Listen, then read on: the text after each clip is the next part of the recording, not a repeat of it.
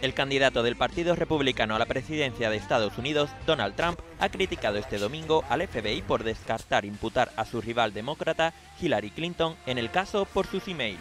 You can't review 650,000 new emails in eight days. You can't do it, folks. A pesar del anuncio del FBI, el candidato republicano ha indicado que la investigación acabará por dar resultados. Además, Trump ha asegurado que las investigaciones sobre los crímenes de Clinton se alargará mucho tiempo. Won't let her get away with her terrible crimes, including the deletion of 33,000 emails after receiving a congressional subpoena.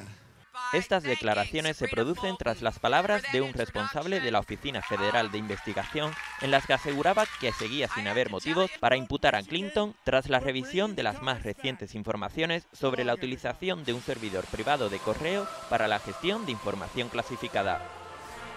Desde la oficina de campaña de Hillary Clinton se han mostrado satisfechos porque se haya resuelto la cuestión con rapidez.